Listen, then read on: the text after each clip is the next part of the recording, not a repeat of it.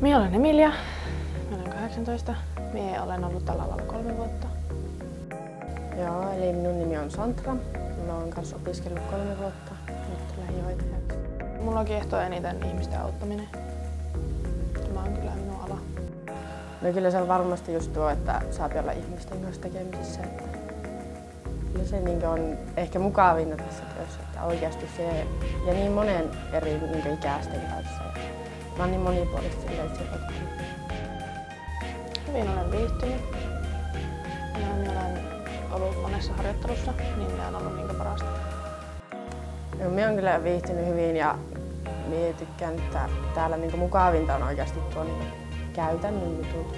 Tai silleen, että just nuo työharjoittelut ja sitten nuo, mitä me tehdään, noita kaikkia harjoituksia näillä tunneilla. No siis on ihan perusteoria.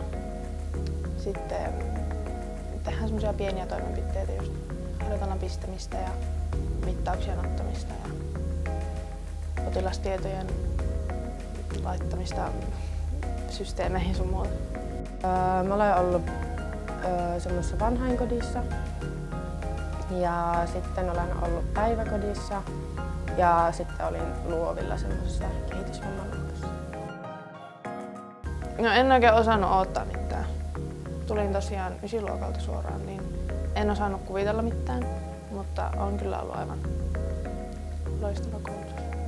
No en minä oikein silleen oottanut mitään. Että minä just silleen, että pääsee oikeasti niin vähän enemmän niin tekemään tätä työtä tai silleen, että mä olin niin aikaisemmin olen ollut vanhainkodissa ja töissä niin hain tänne niin kesätöissä, sitten siitä sai vähän semmoista, että no ahaa, niin tämmöistä hommaa. Mutta tuota, niin sen jälkeen, että minä halusin niin vain lähteä lisää opiskelemaan sitä, että minä niin tiennyt tällä niin odottaa täältä mitään.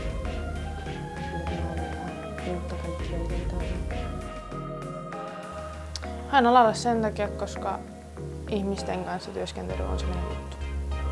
Ja just sen takia, kun mä olin ollut siellä kesätöissä niin vanhusten kanssa, niin sitten mulla tuli semmoinen olo, että mä vois olla niin minun juttu. Niin tein kyllä ihan hyvän päätöksen. Minä suosittelisin tätä alaa just sellaisille, jotka haluaa auttaa ihmisiä, tykkää olla ihmisten kanssa tekemisissä ja tehdä työtä ihmisten kanssa ja tulla ihmisten kanssa hyvin toimeen. Öö, no semmoiselle reippaille, jotka jaksaa oikeasti tehdä tätä, että tämähän on oikeasti aika silleen fyysistäkin. Ja sitten tässä tarvii oikeasti aika hyvät hermotkin osaksi. Mutta semmoisille, jotka niinku oikeasti tykkää olla ihmisten kanssa tekemisissä jotka oikeasti niinku jaksaa sitä. No kyllä siis voi sanoa, että niinku on aina puolensa ja puolensa on ihania asiakkaita, mutta aina ne löytyy niitä, jotka niinku oikeasti sinun kanssa pitää niinku viettää niitä hermoja.